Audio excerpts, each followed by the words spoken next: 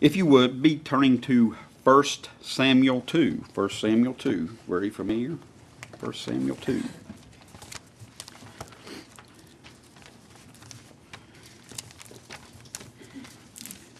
And I didn't mark it, so I'm not sure I'm going to be able to find it. So you all might have to help me.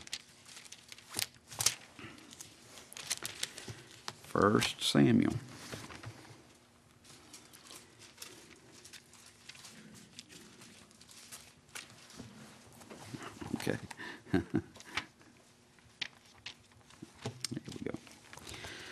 1 Samuel chapter 2. I will get there in a minute.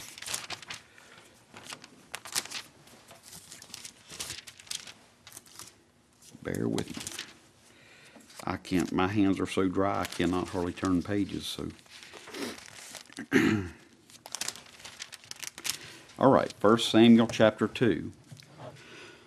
now, before I read that, I, this is where I'm going to be. I mean, you don't have to worry about turning anywhere else, but this is where I'm going to be. But before I go into reading that, I wanted to say a few things first. My title this morning is Who is God? It's a good question, but it does matter how you ask this question. I mean, the attitude in which you ask this question. There are two places that I know of in Scripture where this kind of question has been asked before. Exodus 5 2. And Pharaoh said, Who is the Lord that I should obey his voice to let Israel go? I know not the Lord, neither will I let Israel go.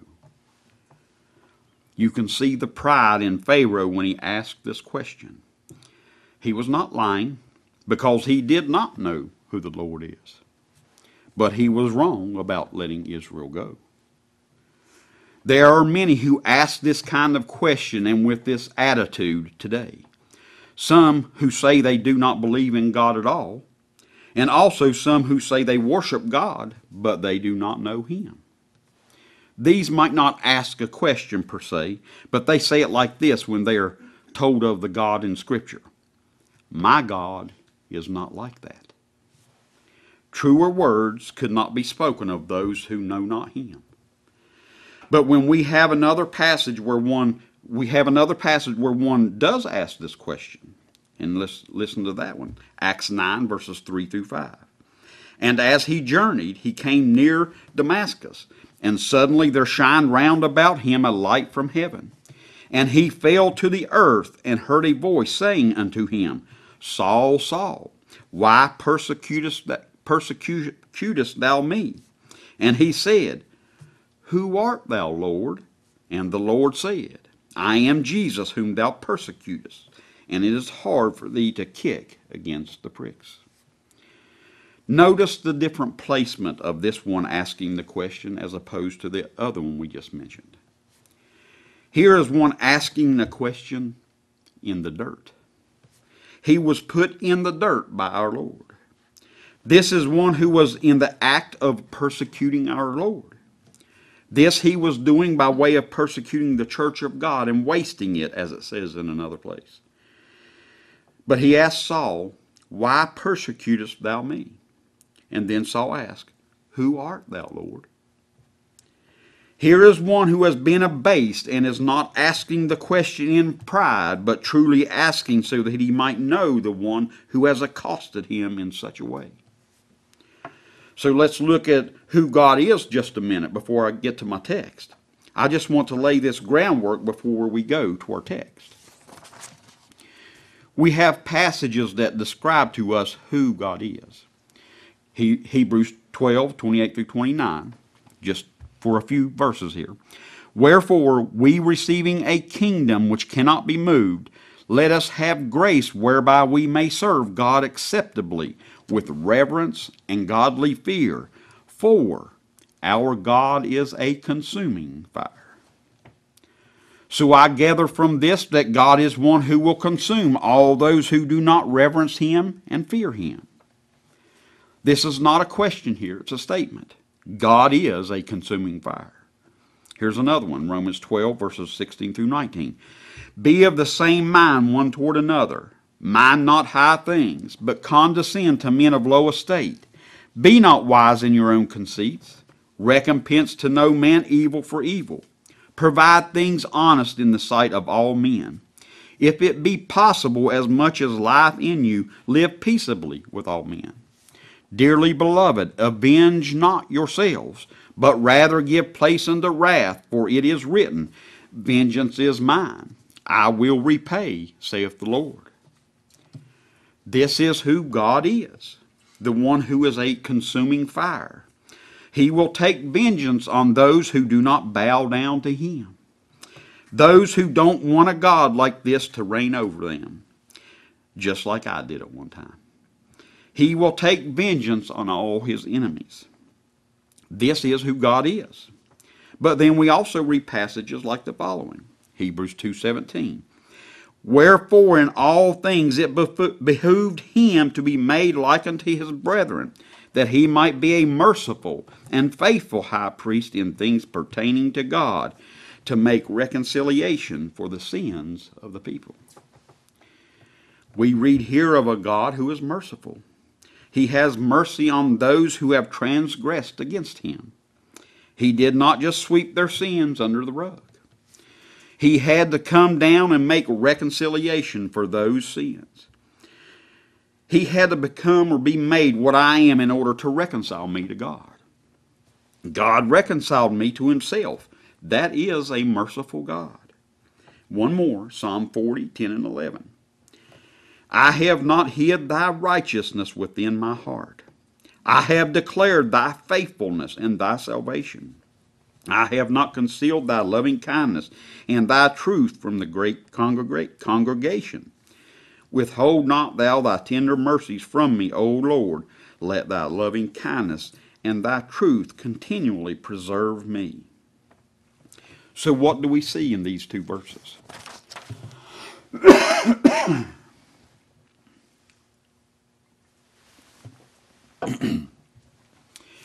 a God who is righteous. There is not one thing that God does that is not righteous. He can do nothing but righteousness. Faithful. He is faithful, faithful and will do all he says he will do. He is righteous and cannot lie. So he is faithful to his word. He says he will never forsake his people and he will always uphold them. This God is a loving and kind God. He loves his people and takes care of them. He hears them when they cry out to him. Just as you would do when a child of yours or a grandchild of yours cries out for help. This is what God does for his people. He is always kind to us and loving to us. In fact, we have already read the love wherewith he hath loved us. Loved us. He was made a curse and sin for us. So we've just read some things in Scripture about who God is. So is God a venge, vengeful, a consuming fire who will not at all acquit, acquit the guilty? Or is he a merciful, gracious God who sheds forth his loving kindness towards a people? Yes, he is both. The fact is, most people know him as does not. Most people don't know him as either one of these. They, in fact, do not know him at all. They do not want to know this one. Knowing that God is vengeful, God who will repay, and that he who is creator of all things can cast both my body and soul into hell, causes me to reverence and fear him. Not knowing this, I will not fear and tremble before him, and I will be filled with pride as I was before God visited me. But we also know him as a loving and gracious God who has done everything that is needed to save their soul. Coming from this God who is a consuming fire, and it is he who upholds them forever. This causes them to love him because he first loved them. So now with this in mind, I want to read 1 Samuel 2 verses 1 through 10 and go through what is called Hannah's prayer. And I think it was Walter who I heard say this, but this prayer being her second prayer. This is one who has been brought to know who God is and gives praise, honor, and glory to him, as we will see. Others not knowing of this God, because if they did, they would turn from their own way and bow down and worship and praise, honor, and glorify him for what he has done. So let's read it. and Hannah prayed and said, My heart rejoiceth in the Lord. Mine horn is exalted in the Lord. My mouth is enlarged over mine enemies, because I rejoice in thy salvation. There is none holy as the Lord, for there is none besides thee, neither is there any rock like our God. Talk no more so exceeding proudly, let not arrogancy come out of your mouth. For the Lord is a God of knowledge, and by him actions are weighed. The bows of the mighty men are broken, and they that stumbled are girded with strength. They that were full have hired out themselves for bread, and they that were hungry ceased, so that the barren hath borne seven, and she that hath many children is waxed feeble. The Lord killeth and maketh alive. He bringeth down to the grave and bringeth up. The Lord maketh poor and maketh rich. He bringeth low and lifteth up. He raiseth up the poor out of the dust and lifteth up the beggar from the dunghill to set them among princes and to make them inherit the throne of glory. For the pillars of the earth are the Lord's, and he hath set the wor- world upon them. He will keep the feet of his saints, and the wicked shall be silent in darkness, for by strength shall no man prevail. The, the adversaries of the Lord shall be broken to pieces. Out of heaven shall he thunder upon them. The Lord shall judge the ends of the earth, and he shall give strength unto his king, and exalt the horn of his anointed.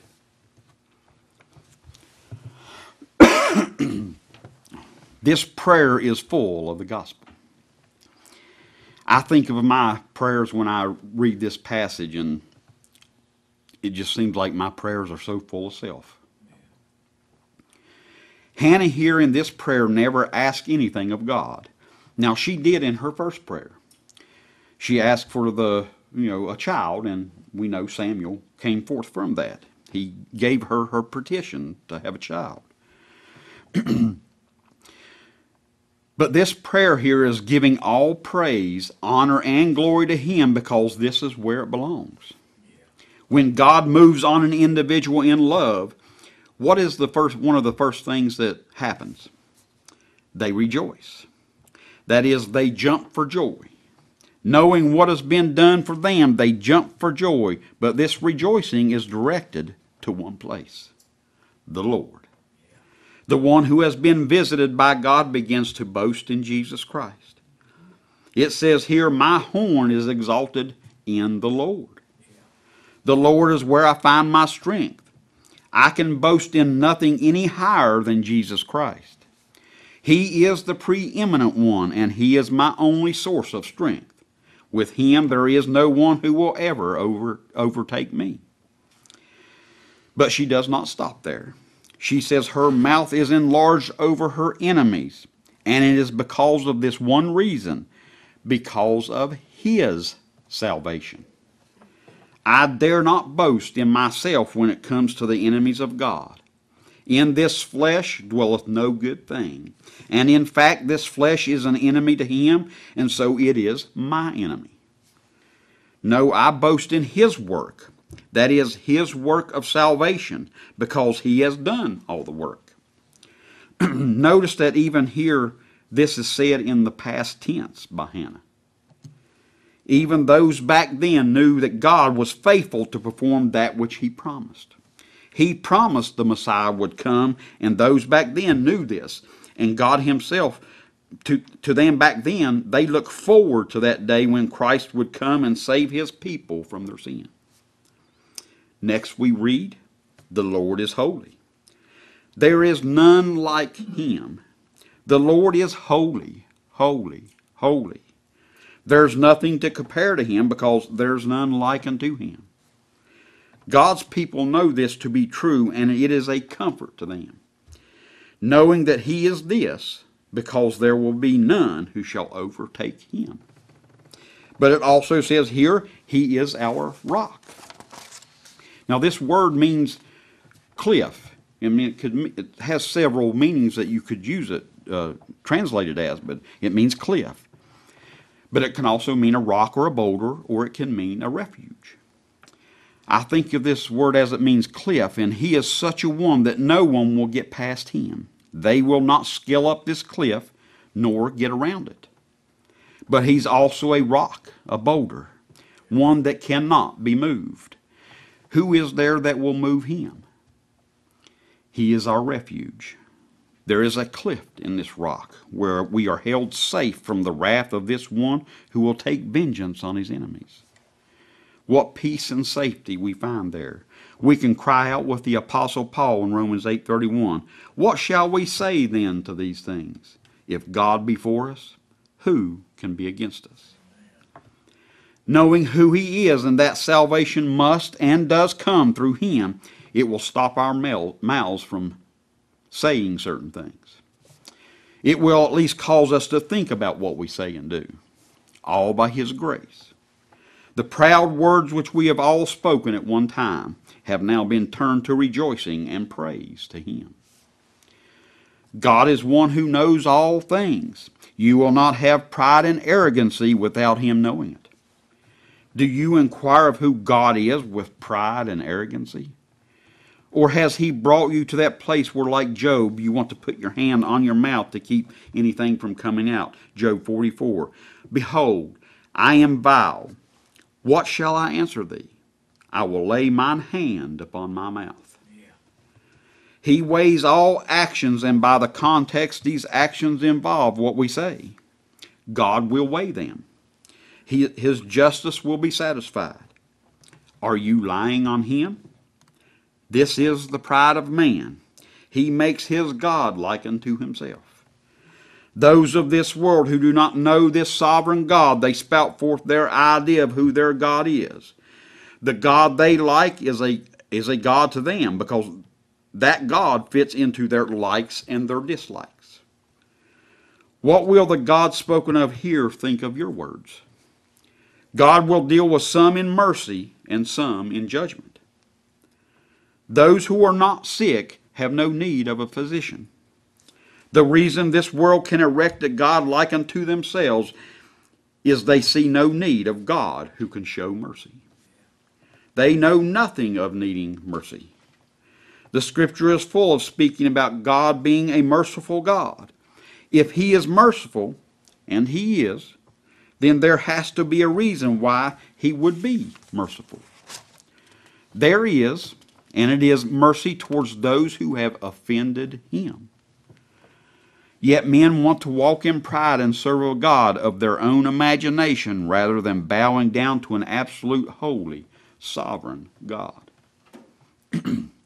but we know God is not going to be thwarted. He will have his way. What did Nebuchadnezzar find out in Daniel 4:37? Now I, Nebuchadnezzar, praise and extol and honor the King of heaven, all whose works are truth, and his judge and his ways judgment, and those that walk in pride, he is able to abase. There are those here spoken of that are mighty, that is, mighty in their own strength, in, in uh, second, uh, 1 Samuel 2 here. They think they have a handle on God their might, their strength will be broken. Verse 4. Those who are weak and cannot take another step, lest he comes to them in mercy, for these he will be their strength. In verse 5, I do believe that Hannah thought back to when uh, Peninnah uh, provoked or troubled her because she was barren. But I do agree with Robert Hawker that this means much more than just that instance. The scripture says, Blessed are they who hunger and thirst after righteousness, for they shall be filled. Those who are not hungry for a God righteousness think they have their own righteousness. They will be, will be found wanting. but this also reminds me of, of the passage in Romans, Romans 4:17. As it is written, I have made thee a father of many nations, before him whom he believed, even God, who quickeneth the dead, and calleth those things which be not as though they were. So God, through his work of salvation, will take those who are just like everyone else born in Adam, meaning they have a sinful fallen nature which hates God just like everyone else. But he brings them to this place where they have no other hope but him, and this by his faith given to them, and God counts that to them for righteousness, calling me righteous, although I have so much unrighteousness in me. So now we come to the verse or verses which I really wanted to get to in my message today. What do we read in verse 6? And I think it's important for us to note in what order this is said. The Lord killeth and maketh alive. Certainly, God Almighty has the right and power to kill who He wants, and He can make those who are dead alive again. But I believe this is talking about that time just as Paul spoke of when he said, I was alive without the law once. But when the commandment came, sin revived, and I died. That's Romans 7 9. God sends his people his law, and it condemns them to death. They die. God kills them. This is where God's schoolmaster takes those who are his. This law takes men and women down to the grave where all hope is lost. Should there be none who would come to help, they would, they would all be lost. But we also read here, and maketh alive. He does both of these things to those whom he loves. He first brings his people into the grave, but then lifts them up out of the grave. This he does by giving them faith, I just spoke about. He sends them his gospel by the faith given them. Then they believe the record God gave of his Son, and they are alive unto God in him. What does it say next? He bringeth down to the grave and bringeth up. Just notice how it says this. It is as if he is doing both of these things. I know he has the ability to do these things, but when you read it, this, you get the sense that he is actually doing both of these things to individuals. This is certainly what he does to us, but he also did this to his son for us. He brought him down to the grave for us, and he bringeth him up again to sit on his throne, saving us to the uttermost, it says in Hebrews. But as it concerns us, and several men have said, if you have never been lost, you will never be found. God makes those who are His to become lost and without hope in their mind before He shows them that life is in Him, and in Him is where I must be found. We have this same type of things, thing in the next verse. The Lord maketh poor and maketh rich. He will bring you to that place where God shows you by His schoolmaster that you have no righteousness of your own he shows us that all of our righteousnesses are as filthy rags in His sight. But then He fills us with the righteousness of His dear Son. He wraps that robe around us as He ushers us back home as the prodigal sons. Poor beggars clothed in the righteousness of Jesus Christ, making His people rich in Him. Notice in all these, these things who is doing all of this it says He, He, He. God Almighty does all of this. In fact, He must do all of this, or else it will not be done. But what do we read in 1 Corinthians 1 and verse 30? But of Him are ye in Christ Jesus, who of God is made unto us wisdom and righteousness and sanctification and redemption I have the riches of His grace bestowed on me in Christ. The prayer goes on. Those poor whose home is in the dust, whose house is the dung pile. He lifts us those up off of this place and he places them where they will be filled continually, never to have a care again. They will, this says, inherit the throne of glory. Why? Because it is all his and he can do with what, what is his, what he wants. He being the head and we being the body, he tells us we will reign on his throne with him in Christ. It goes on to say he will keep the feet of his saints. How does he do this? He gives them light to see on the way. This he does through his gospel, sending it to them when he is pleased and as often as he is pleased. He will direct their steps by his Spirit when the gospel is heard. They glorify God in his Son. No man will by strength, it says, prevail. Man does not have the power to become mightier than God. Man, in fact, has no might of his own. Where do we find our might? His gospel. 2 Corinthians 10:4 For the weapons of our warfare are not carnal, but mighty through God to the pulling down of strongholds. We wield his word, that sword of the spirit, and I'm not saying that we preach the Spirit into men and women. I'm not saying that at all. But His Spirit uses that word to divide asunder both soul and spirit. God will make you miserable so that you have nowhere to run. Just when you think all hope is lost, His gospel shows you Christ and Him crucified, and you begin to rejoice. Just as Hannah did here. The last verse, verse 10. The adversaries of the Lord shall be broken to pieces. Out of heaven shall he thunder upon them. The Lord shall judge the ends of the earth, and he shall give strength unto his king, and exalt the horn of his anointed.